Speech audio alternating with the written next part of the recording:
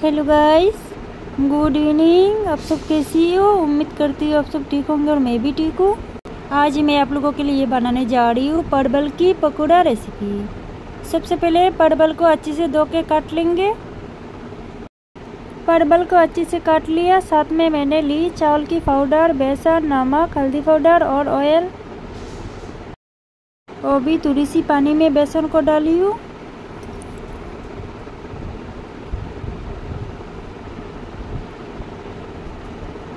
साथ में चावल की पाउडर को डाली हूँ। थोड़ी सी नमक डाल रही हूँ। थोड़ी सी हल्दी पाउडर डाली हूँ और भी एक साथ मिला रही हूँ। अच्छी से बैटर बना लिया। वो भी बैटर में, परवल को अच्छी से लगाएँगे।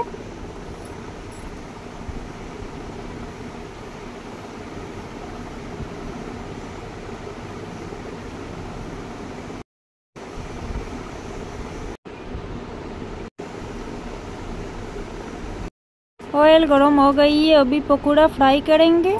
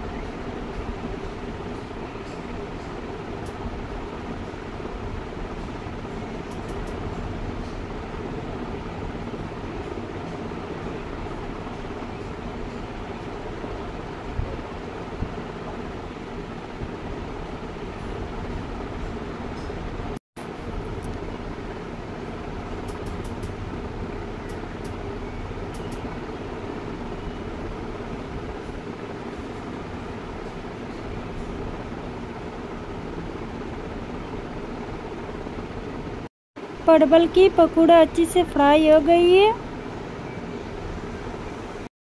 न्यू रेसिपी परवल की पकौड़ा तैयार।